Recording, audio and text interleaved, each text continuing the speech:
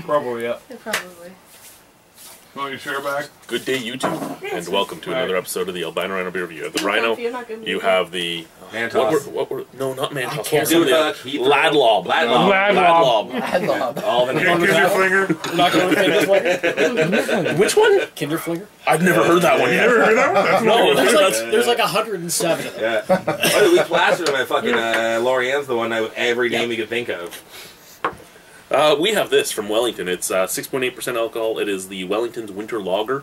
Um, this I've actually it's it's probably fairly old because I've seen it at the LCBO for months because nobody wants to buy it because who wants to buy an eight dollar lager right like I passed that by so many times. Fuck that! Who's the head brewer at this one? Because I know we met him. So I Uh, remember going to film there. actually Has it changed? Marvin Dick is still Marvin Dick is still the head brewer there. However, In case you didn't catch it the first My For- name's Marvin Dick. for uh, and, name's and the, Dick. the other husband isn't down here anymore. I do not believe, but I'm his for any, anyone that uh, anyone that hasn't met him, George Eagleson, who was the head brewer at I'm Stonehenge, is now a brewer over there, and he is probably the coolest guy I've met in the in the industry. All right. So if this beer sucks, we can force him to eat a Wellington.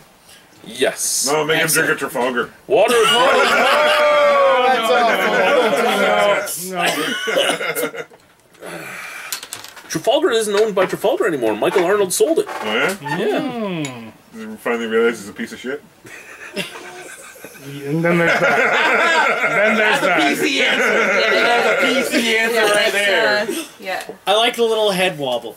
Yes, we haven't forgotten about you, you greasy twat. That's an insult hate to you. grease-head twats. So you see, Yeah, It was on the greasy I- I side of things. Thought, I thought that brewery would end up going. I thought that brewery would end up going to his son. uh, Why, you and- dried, mingy stubble man. Oh, you did the Oh, President! Oh, that, that has a little Oh, bit of haze to it. A little bit. A little bit of haze, a golden color. Uh, Mingy! Not really a smell at all. There's something there. I was just saying There's a- while you were there's a hop outside, uh, George Eagleson is now one of the brewers at Wellington. Oh, yeah? And if this sucks, we're gonna make him eat one. That's yeah, not much it, it doesn't have much scent at all. Losing bread. Uh, let's let's Yeah, try it. that's pretty much it. Cheers. Righty. Cheers. It's a lager. Yeah, it's nothing. It kind of Yeah. tastes like it. It tastes is literally nothing. That's all there I. I would it, say yeah. it's more like a Vienna lager because it has a little bit of that back punch. A little bit of Lots Yeah. a little bit, But- but not much. Nothing really. Like No. like straw and a little bit of hoppiness. Can I Slightly causing my right eye to close. can I say that it's bad? Can I say it's bad? Not at all. Typical Hey, you should mow Ontario the line. craft lager. on it and compare Can. I can I say it's good? Again, probably not at all. I mean, it's it's a beer, but I mean, it, yeah, it's a seven fifty. But do I want to pay six ninety five plus deposit on this beer? No. No. For that amount of money, I would drive over the border. What the fuck was the name of that fucking dollar fucking?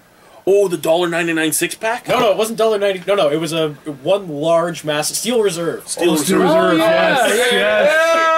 Yeah! I drink all those shits. Mm-hmm. But yeah, Yeah, like all of this. It tastes a little like blue. this isn't It a made bad Milwaukee's beer, but best when, taste when you like beer. figure when you figure it's a seven dollar and five cent beer after you add the deposit to it, is it worthwhile?